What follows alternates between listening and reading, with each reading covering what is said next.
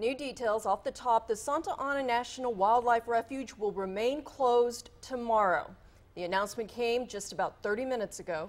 A fire at the refuge continues to burn at this hour. It's now in its 24th hour.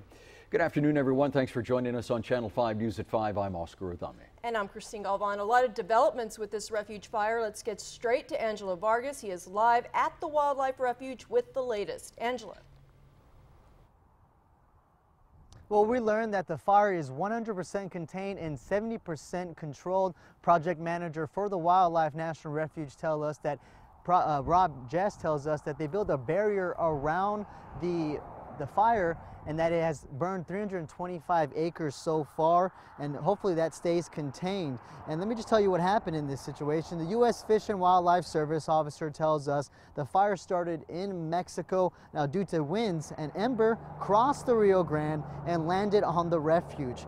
Refuge officials decided to close their doors to the public yesterday afternoon. It remains closed at this hour and it's going to remain closed for the rest of the night as well as tomorrow as you know. Now because of this it's heavy equipment is on the property and trees are blocking the trails the u.s fish and wildlife service tells us the fire again started in mexico due to the due to the winds.